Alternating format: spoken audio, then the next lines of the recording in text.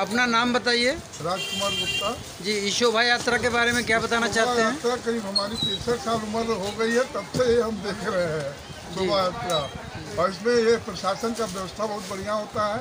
इसमें एक हँसी कटरा मंदिर से निकलती है काली मंदिर से और ये राम लीला मैदान तक जाती है। हैं, और काफ़ी दिनों से ये ज़रूर जा रही है हनुमान जी का। और इससे ये मालूम हो जाता है कि आज त्यौहार है। धनतेरस का इस शोभा यात्रा में प्रशासन की तरफ़ से क्या इंतज़ाम व्यवस्था बहुत अच्छी व्यवस्था है। प्रशासन का बोलना नहीं है।